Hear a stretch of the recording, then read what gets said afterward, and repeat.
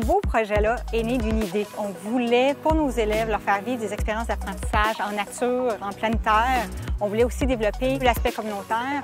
Donc, on a soumis l'idée et la ville de Rosemère a été emballée parce que justement, de leur côté, ça répondait à un besoin parce que leurs citoyens demandaient d'avoir accès à des jardinets.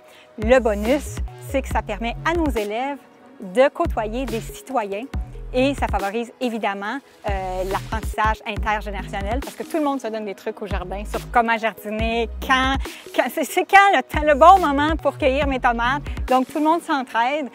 Juste voir les sourires, la fierté, autant des jeunes et des citoyens quand vient le temps des récoltes, ça, malheureusement, on ne peut pas reproduire ça dans une salle de classe. C'est un lieu de rendez-vous et évidemment, toutes générations confondues. Les gens viennent euh, retirer les mauvaises herbes, arroser, planter. On sait aujourd'hui que c'est important de ne pas isoler ni les jeunes, ni les personnes du troisième âge.